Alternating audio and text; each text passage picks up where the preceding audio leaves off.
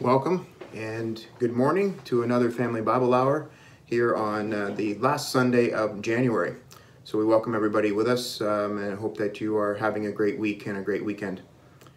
This weekend marks the fourth segment in our series that Randy's been taking us through, Isaiah, the Gospel according to Isaiah. And this week, Randy's going to look at uh, verses 7 to 9 and if you looked at his update this week, he told us that this is going to be on the topic of the dramatic silence of the suffering servant. Again, Isaiah 53, verses 7 to 9. So get your Bibles ready.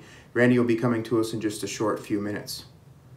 Got a few announcements for you this morning. Uh, again, if you've missed any of our sermons and this series that has kicked off 2021, you can always check on our Bethel Facebook page, our website, and also our YouTube channel. So make sure you know how to access those.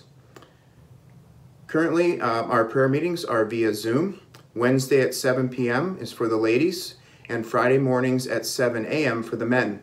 And if you haven't joined us or would like to and need the links, please co uh, contact Randy or Pat for those. Again, we remind you of our Bethel annual meeting and save the date for the evening of Saturday, February the 20th. Uh, restrictions pending and more information will follow. I ask that you would pray uh, along with us for the LeBlanc family, for Mavis, for Emma, and Kayla in the passing of Mike uh, this past Friday night. Uh, a dear friend, of course, to all three of them and to many others, a father to the girls, and Mavis's dear husband. So please pray for the family in the coming days. Good morning. Our reading is again from the book of Isaiah chapter 53. I'm reading from the New King James Version. Who has believed our report? And to whom has the arm of the Lord been revealed? For he shall grow up before him as a tender plant, and as a root out of dry ground. He has no form or comeliness, and when we see him, there is no beauty that we should desire him. He is despised and rejected by man, a man of sorrows and acquainted with grief and we hid, as it were, our faces from him. He was despised, and we did not esteem him. Surely he has borne our griefs and carried our sorrows, yet we esteemed him stricken, smitten by God, and afflicted. But he was wounded for our transgressions, he was bruised for our iniquities. The chastisement for our peace was upon him, and by his stripes we are healed. All we like sheep have gone astray. We have turned every one to his own way, and the Lord has laid on him the iniquity of us all. He was oppressed and he was afflicted, yet he opened not his mouth. He was led as a lamb to the slaughter, and as a sheep before its shearers is silent, so he opened not his mouth. He was taken from prison and from judgment, and who will declare his generation? For he was cut off from the land of the living. For the transgressions of my people he was stricken. And they made his grave with the wicked, but with the rich at his death, because he had done no violence, nor was any deceit in his mouth. Yet it pleased the Lord to bruise him. He has put him to grief. When you make his soul an offering for sin, he shall see his seed. He shall prolong his days, and the pleasure of the Lord shall prosper in his hand. He shall see the labor of his soul and be satisfied. By his knowledge my righteous servant shall justify many, for he shall bear their iniquities. Therefore I will divide him a portion with the great, and he shall divide the spoil with the strong, because he poured out his soul unto death, and he was numbered with the transgressors, and he bore the sin of many and made intercession for the transgressors. Let's pray together. Father, as we gather uh, over YouTube and over technology this weekend, we thank you that we can be fed from your word, from the truth of your word. And as we have been enjoying Isaiah, we are uh, looking forward to digging into verses 7 to 9 uh, today to understand the silence of your son, the suffering servant, uh, prophesied so many years before his coming to earth. And so, Father, we thank you for uh, Randy's ministry, for his willingness and his uh, heart to study. And uh, we pray for him, Father, this morning as he guides us through this passage. We also pray, Father, for all of the um, uh, ongoings at Bethel, for our church family, for our leadership, the elders and the deacons. Uh, we think of our, our missionaries, the, the lots away from us in PNG doing their work there. And we thank you, Father, that um, even though we are disconnected in this way, there are so many things going on. I think of, of Awana with some online uh, content that is being produced for the Cubbies. Uh, in, in a big thanks to the um, foresight for that piece. And so, Father, we, we continue to live out Ephesians 4.16 as we work together in love and in unity for the cause of the gospel. We also, Father, with uh, heavy hearts and sad hearts, uh, bring before you the LeBlanc family, for Mavis and for Emma and for Kayla in the passing of Mike. Father, we just pray that you would surround them and comfort them in the days ahead, and uh, that we would be a comfort as a church family to them and uh, show our love and care. And so we, we lift this, that family up to you uh, this morning. Father, as Randy comes to us, we ask that you would guide us again in your word. Thank you for uh, what we're going to hear, and we look forward to being taught again in your word. And it's in Jesus' name we pray. Amen. Have a great week. Good morning, Bethel, and welcome back to the look at Isaiah 53 under the title The Gospel According to Isaiah 53. This is our fourth of five segments. Our final one will be next Sunday, and today our plan is to look at verses 7, 8, and 9. If you've got your Bible open, that's where we'll look at the text. Just before we do, think about the word title. In our culture, a title is usually the name of something, the name of a book, or a song, or a movie, or a play. But titles can also be attached to people's names, right? A title can suggest an office or a rank, a profession, even a hereditary privilege. Dr. John Stackhouse was an elder in this church back in the 1970s. Sir Winston Churchill was the Prime Minister of Great Britain in the Second World War. We don't use titles a lot in our culture here, but nicknames are much more common. The Great One had a birthday recently. One of the quarterbacks in the Super Bowl next weekend has been referred to as the GOAT. And that's not a pejorative term. That's an, an acronym meaning that he's the greatest of all time. That's his nickname. I mention that because Jesus of Nazareth was the most titled person. He had the most titles and nicknames of any person in all of human history. One time there was a, an academic, a scholar, who was invited to a commencement address for a prestigious Christian school. And he was to give the commencement address. And when he came, people expected something deep, something theological, something weighty. And rather, what he did is he walked up to the lectern when it was his turn to speak, and for 25 minutes, he simply listed one after the other names and titles of Christ. The Word, the Son of God, the Great Shepherd, the Son of Man, Wonderful Counselor, the Truth, the Suffering Servant, the Lamb of God. That last title is one that was assigned to the Lord Jesus by John the Baptist. We've talked before about John the Baptist. He was a prophet who seemed in some ways to be in a time warp because the prophets had stopped their ministry 400 years before the time of Christ. And then John the Baptist comes on the scene, and people recognize by his unique character here is another prophet. God is no longer silent, God is again speaking. When John the Baptist encountered the Lord Jesus, he said, Behold, the Lamb of God who takes away the sin of the world. In the gospel accounts, John is the only one to use that title of the Lord Jesus, and he only did so twice.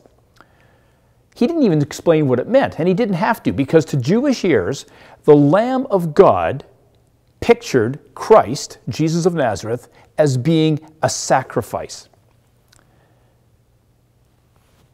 The lamb part is analogy. Lambs were typically slaughtered.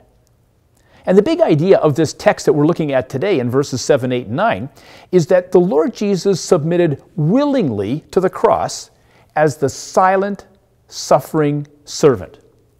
Take a look with me at verse 7. I'm reading from the English Standard Version of the Bible. He, speaking of the suffering servant, he was oppressed and he was afflicted, yet he opened not his mouth. This is a detailed, thoroughly precise prediction of the specifics of the life of Christ and the death of Jesus. When we're thinking about who is the suffering servant, which is the question that has been debated intensely around this text, it's obviously pointing to Jesus of Nazareth 700 years after Isaiah predicted this. And if we were to take the Isaiah 53 template and lay it over the narrative of the life of Christ, the match is precise and perfect. It's interesting that in this entire servant song of Isaiah 53, stretching back to the last verses of Isaiah 52, that the suffering servant, the Messiah, doesn't speak a word. His father speaks, the nation of Israel speaks, Isaiah the prophet speaks, but it points ahead to this highly unusual feature of the arrest and trial of Christ that he was always pictured as having calm silence and a refusal to resist. And it's so unusual for a person in his situation before these authorities charging him with a capital offense. It's so unusual that all four gospel writers make specific note of it. Let me give you a few examples. In Mark chapter 15, the Jewish chief priests were accusing Jesus of many things, Mark says. And Pilate again asked him, Have you no answer to make? See how many charges they bring against you. But Jesus made no further answer, so that Pilate was amazed. In Luke 23, when Herod saw Jesus, he was very glad, for he had long desired to see him because he had heard about him and he was hoping to see some sign done by him. So he questioned him at some length, Luke tells us. But Jesus made no answer. And in John 19, the Jews had accused Jesus of claiming to be the Son of God. And when Pilate heard that, the text says Pilate was even more afraid. He entered his headquarters again and said to Jesus, Where are you from? But Jesus gave no answer. So Pilate said to him, You will not speak to me? Do you not know that I have authority to release you and authority to crucify you? Jesus answered him, You would have no authority over me at all unless it had been given you from above. But otherwise, through his trial, Jesus was characterized as being silent. And that's why verse 7 says, He was oppressed and he was afflicted, yet he opened not his mouth like a lamb that is led to the slaughter, and like a sheep that is that before its shears is silent, so he opened not his mouth. Do you remember last week we made the point that I, I wondered whether the Lord had created sheep for the purpose of spiritual analogy? Sheep are pretty unique, different animals. In verse 6, we studied, we all like sheep have gone astray. And at that point, Isaiah was talking about the wayward, foolish, aimless independence of people when it comes to recognizing God's authority and God's sovereignty, and he compared us to sheep in a negative way. Here in verse 7, the servant of the Lord is compared to sheep in a positive way because it, he's demonstrating quiet, he's demonstrating a passive response to the oppression that has been brought upon him. And so, when you're talking about things that you don't know much about, you consult with people who are experts. And my consultations on the issue of sheep went to Mike and Sylvia. And Sylvia told me that when you're shearing sheep, even if you nick them, even if the, the razor comes in and nicks their skin, typically they won't protest. Mike talked before about a time in our Bible study group about a time when he was slaughtering sheep. And he had his arm around the sheep, around the sheep's neck, and they, they were almost nose to nose at this point. Mike knew what he was going to do, and those big sheep eyes were looking at him trustingly as he's about to slit the throat of the sheep. They're very unique that way. But sheep are a great analogy for the Lord Jesus because one of the characteristics of his crucifixion, of the trial, the torture, the crucifixion, was that there was no protest, no resistance, no complaint. His antagonists, particularly Pilate and Herod, were shocked. They were surprised. They were nervous. They were disquieted by that. They had never seen anybody go through what he had gone through without protesting vehemently. But he had nothing more to say. He had already said it in his teaching, in his miracles, and in his life. This was not a, a good effort gone bad, as some liberal commentators have suggested. This was the eternal plan of the triune God, and the suffering servant was carrying it out. And so, verse 8 says, by oppression, there's that word again, both in verse 7 and in verse 8 in this version of the Bible and in many. By oppression and judgment, he was taken away. The arrest and the trial of the Lord Jesus were characterized by physical abuse, by his Jewish antagonists, and also by the soldiers. Oppression is talking about the fact that the checks and balances of judicial objectivity were brushed aside. They were ignored in their rush to get the Lord Jesus to the cross. Herod and Pilate recognized his innocence because five times he was proclaimed to be, he was declared to be innocent. But the Jews had this deeply rooted hated hatred for the Lord Jesus even though they had a highly developed system of justice, the trial of the Lord Jesus was notable because judicial standards of fairness and objectivity were shattered. They were annihilated. This was a mockery of a trial. Many rules of judicial protocol were brushed aside. They only wanted to get the Lord Jesus hung on the cross. Let me give you some examples as we talk about the oppression of the Lord Jesus in this text. First, Jesus was arraigned, he was forced to appear before a criminal court to answer charges before he had even been accused of a crime. That was a breach of judicial protocol. In fact, they had determined his guilt and his punishment even before his trial. There was no concern for truth or righteousness or justice. Secondly, the High Court illegally convened during the trial of the Lord Jesus at night to try a man who had not yet been formally charged. It was during one of the holiest days of the year. And yet, that breach of judicial protocol was carried out in the rush to have him crucified. Then, when a capital punishment, when, when a capital crime was being charged and capital punishment was being considered, it was the law that the trial was to be held publicly at the temple. But the trial of the Lord Jesus was in private at the high priest's residence. And then, after paying Judas to betray him, the court was prompting false witnesses to obtain testimony to convict the Lord Jesus. False witnesses willing to perjure themselves, and they couldn't even agree on their testimony. Then the unrestrained frustration and hatred of the Jewish elite was evident Matthew's gospel tells us that members of the court struck him and spit in his face. In most cultures, including Jewish culture, to spit in the face of somebody was the supreme insult. And the Jewish law provided that there were rights and protections for the accused. They were ignored in the trial of the Lord Jesus. And in capital cases, when a judgment was rendered and execution was decided upon, it could not happen on the same day as the trial. That was the law.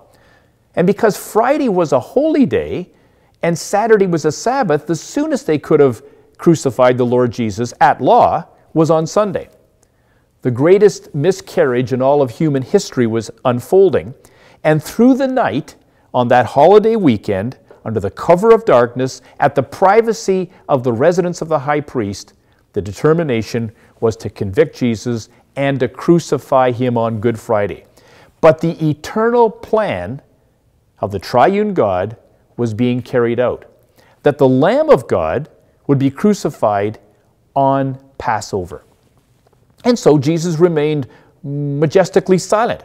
He was unwilling to dignify the process by speaking. His silence was a silence of innocence and control, of dignity, of integrity, and of trust in his Father. Continuing with verse 8 And as for his generation, who considered that he was cut off out of the land of the living, stricken for the transgression of my people, Isaiah says.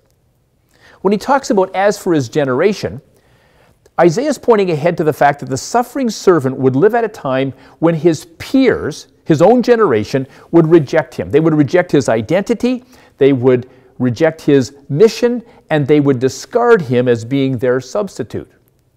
And when Isaiah says he was cut off, the word that he uses there is unique. There are 420,000 Hebrew words in the Old Testament. This word appears only 13 times, so it's quite unique, quite unusual, and also very graphic. The term for cut off means to cut down, to destroy, to eliminate, to separate, to exclude.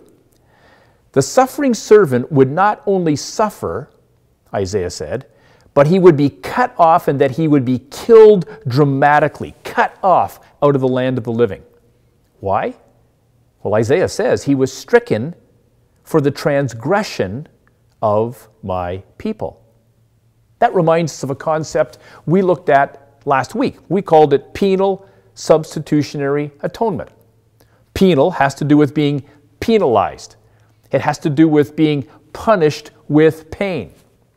We talked about that atonement is to atone or make right, to make restitution for something.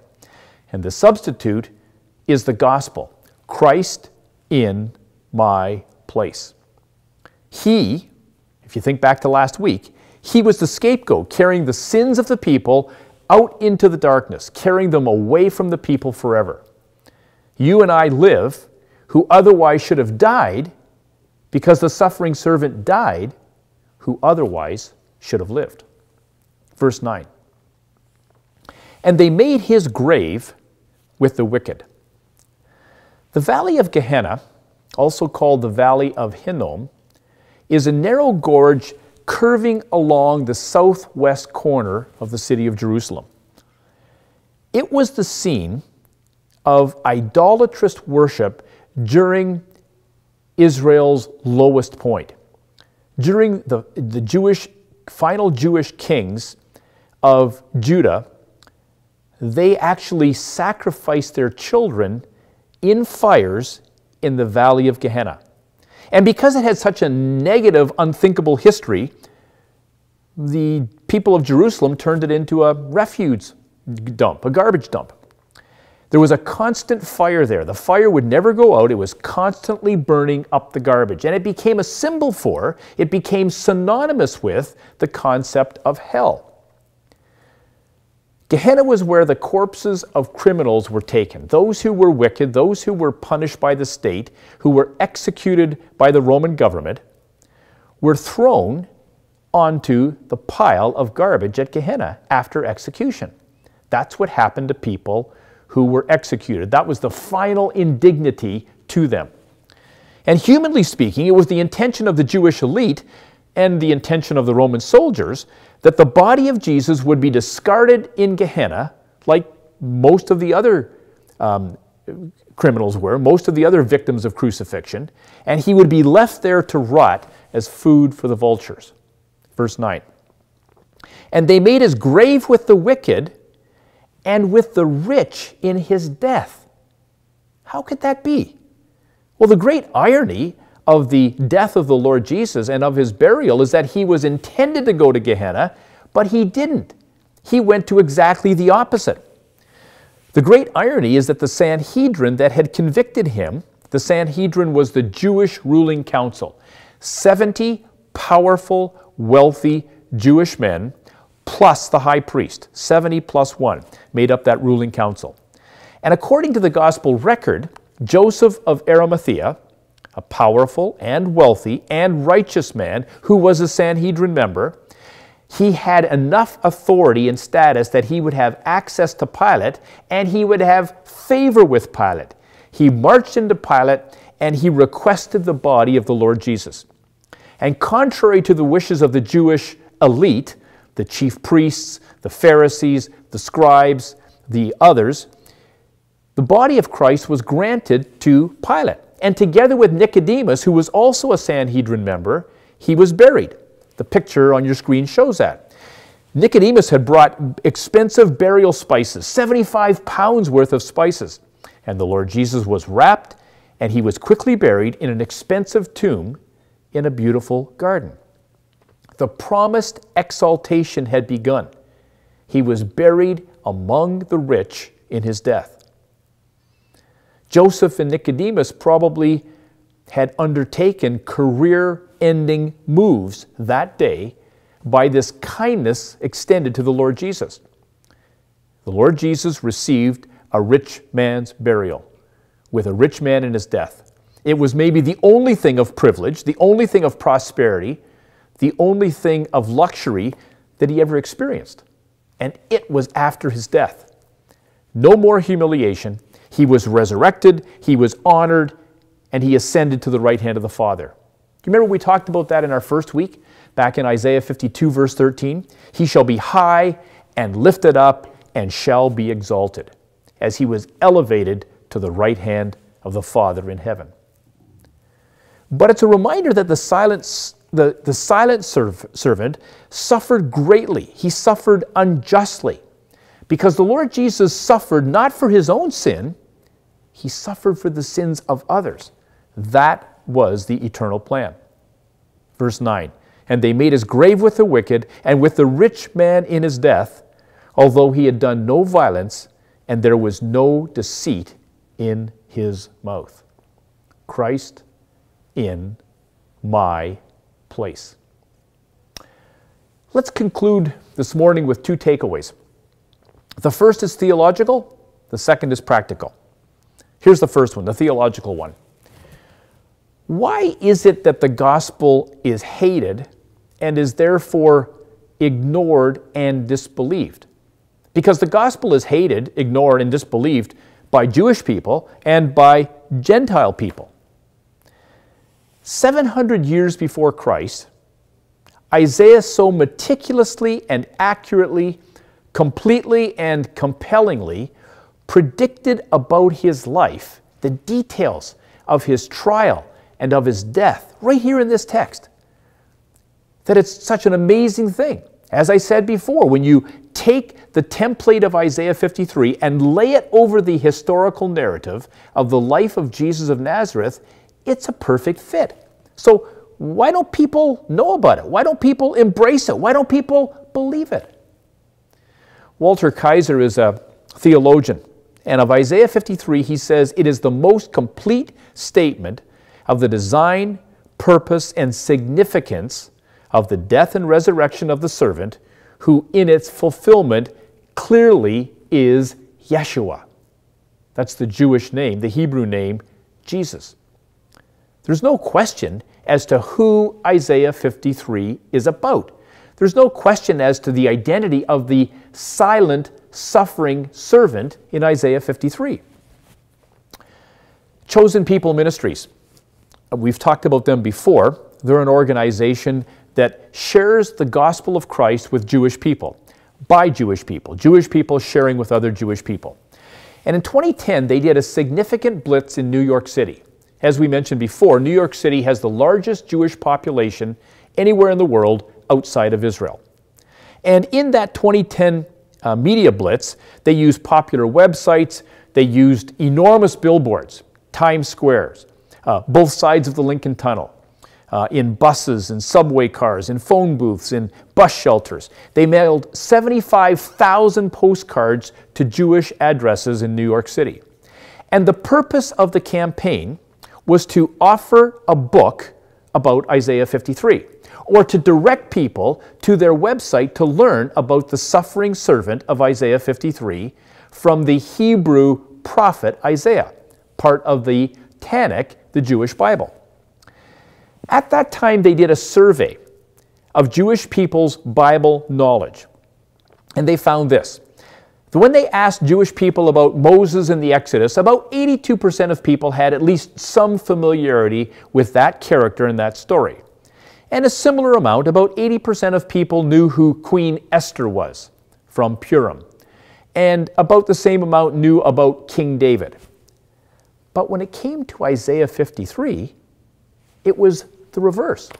72% of Jews surveyed in this survey had little or no familiarity with Isaiah 53 and the suffering servant.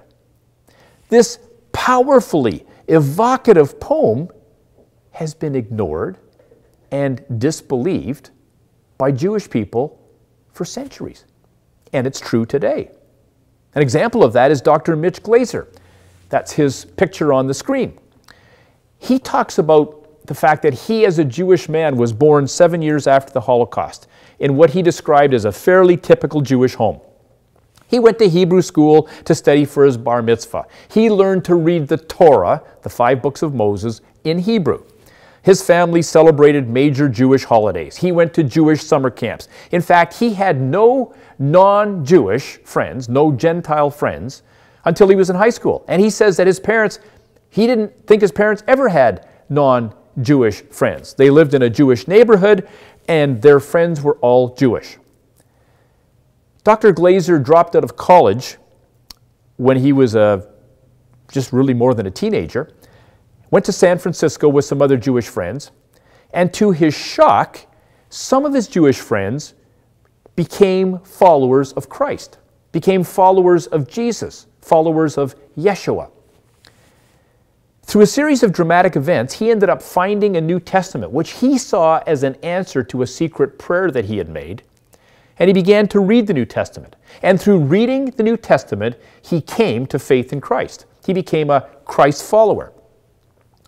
He returned home to New York and he told his parents that as a Jewish man, he was now a follower of Christ, and they evicted him from his home, from their home. They said he was no longer welcome there. And on the last night, before he left from home the next day, he asked his mother if he could read Isaiah 53 to her, because he was certain that when she heard Isaiah 53, the identity of Jesus was so crystal clear in the Jewish prophecy from seven centuries before Christ, he was sure that she would repent and embrace Christ. As he began to read the text, the text that uh, Ken read to us earlier, she fell asleep. So he awakened her, and he continued reading until he had finished. At the end of the reading, at the conclusion, she said to him one thing I told you not to read the New Testament to me. He said, But mom, this isn't the New Testament. This is from our own Bible. This is from our own prophet Isaiah. This has been in our Bible for centuries before Christ was born. And his conclusion was this Isaiah 53 seemed to point so clearly to Jesus, he said, that I assumed that my Hebrew teachers and rabbi had been intentionally ignoring it. There had been an Isaiah 53 cover up. And there continues to be to this day. Among Jewish people, among Gentile people. The Bible is ignored, and Isaiah 53 is ignored, and it's disbelieved because the gospel is hated. That's the natural inclination of natural people. Number two, our final takeaway is a practical one. With Christ as our example, we live in an era of the assertion of personal rights, of my entitlement. I should never have to apologize for being me. I should never have to apologize for expressing myself, we hear. I should never have to regret even if I renege on commitments because really I have a right to be happy, whatever that takes. I've got swagger, I'm going to show it, and everybody's going to hear it. We hear those kinds of things all the time. We live in an era of masks, and isolation, and restrictions on our personal freedom. And many of us have stood up and said, that's not fair. In fact, some of us say that to almost everybody who will listen. I'm not happy about what's going on either. None of us are. But it's easy for us to assume the role of being victims, of being the martyr, of being the aggrieved party. Now, there are clearly times when it is appropriate for us to speak out. That's the example of Christ. But there are also times when it's not appropriate to speak out so much that we become characterized by this issue. And some of us, I think, frankly, are characterized by protest, by complaint, by victimization. The most important objective for the follower of Christ is the issue of sanctification. That simply means becoming more like Christ, becoming more Christ like. And the example of the Lord Jesus in this text is one of silent, passive, calm, trusting faith, even in the face of attack. May 2020 be a year when His example, when His teaching, when His Spirit empower you and me to be more like Him, even in the current circumstances. Let's pray together. Heavenly Father, as we work our way through Isaiah 53, my prayer is that more and more we would develop a capacity to be like Christ and to treasure Christ. For those of us who are followers of Christ, our primary objective needs to be to be more like Him. And for those, Lord, who have not yet engaged in a relationship with you through the, your Son, the Lord Jesus, may this text today challenge them to think very carefully about who He is, about what Isaiah predicted about Him, and how the Lord Jesus is the only one who can be identified with this text. This is purely amazing. This must be the work of Almighty God. Father, we thank you in Jesus' name. Amen. Thanks for being with us this morning.